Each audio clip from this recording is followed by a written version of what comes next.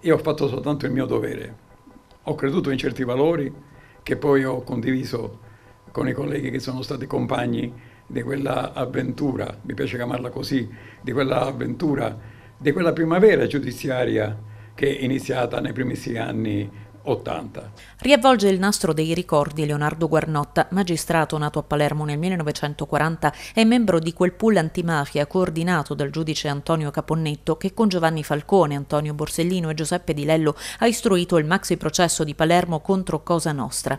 Lo fa davanti agli studenti del liceo scientifico d'Ascanio di Montesilvano, dialogando con il professor Graziano Fabrizi e Filomena Mammarella, dirigente scolastica del Dascanio, raccontando ai giovani quegli anni difficili e presentando il libro C'era una volta il pool antimafia nell'ambito della venticinquesima edizione del premio Borsellino, che si concluderà domani a Pescara con la cerimonia di premiazione dal Teatro Flaiano che a partire dalle ore 10 sarà trasmessa in diretta tv su Rete 8 e in streaming su www.rete8.it www.radioticino.it. Io non sono un eroe, non volevo esserlo, ovviamente. Ho soltanto fatto, fatto il mio dovere. Incontro persone che mi dicono, ma lei lo farebbe tutto quello che ha fatto in questi anni? Io dico sì, se, senza alcun dubbio lo farei.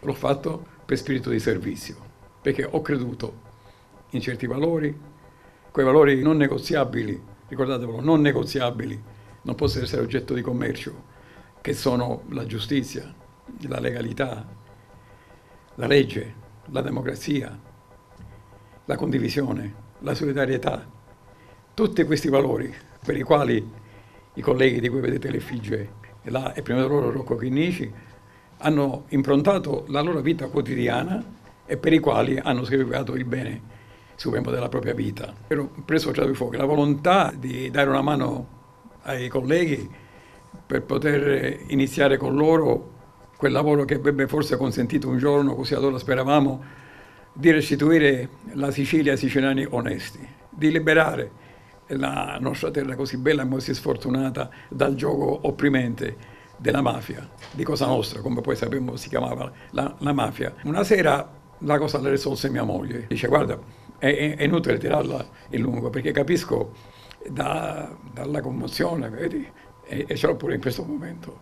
Quindi dalla commozione che eh, sento dalla tua voce e poi sotto dalla luce che vedo nei tuoi occhi quando tu parli della possibilità di entrare a far parte di, di questo gruppo, io so che tu puoi farlo. E allora che ci aspetti?